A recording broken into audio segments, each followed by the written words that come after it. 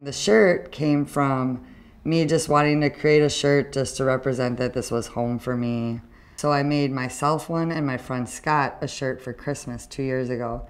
The following March, we decided we should make some shirts and sell them and just see what happens because people just loved it and started buying it.